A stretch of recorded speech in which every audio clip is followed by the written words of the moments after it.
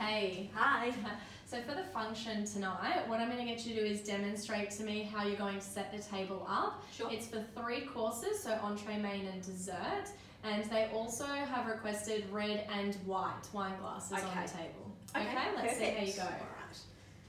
My bread plate. Mm -hmm. I'm going to pop my napkin down to centre the table. Nice napkin fold. Thank you. okay. So I've got a main fork. Yep. Entree fork on the outside. Good. Do you like it about a thumbnail? Yes, Yep. beautiful. Okay, perfect. And I love that you've got the cutlery on a service plate too.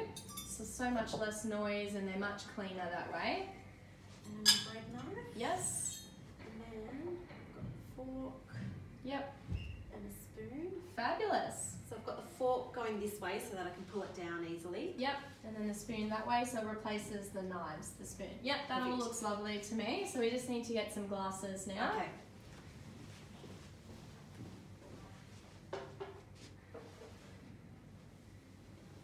Good. Got red wine, Yes.